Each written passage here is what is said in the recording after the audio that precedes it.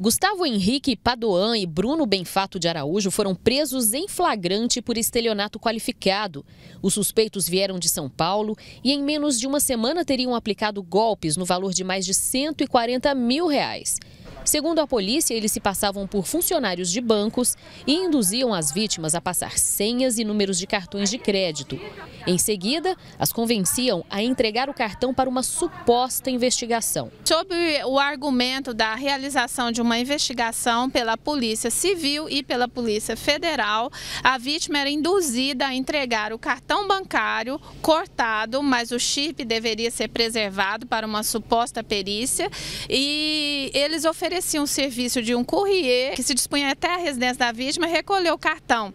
E ainda instruíam a vítima a redigir, nós temos cartas aí prendidas de próprio punho, né, para serem entregues junto com o cartão. Enquanto isso, eles iam segurando a linha telefônica da vítima até para impedir, né, contatos com o banco, outros contatos diversos, e essa linha ficava segura até que o golpe fosse consumado. Com eles, a polícia apreendeu máquinas de cartões de crédito usadas para roubar o dinheiro das vítimas, entre elas idosos moradores de condomínios de luxo. Fizemos uma diligência no local onde eles estavam, aqui em Goiânia.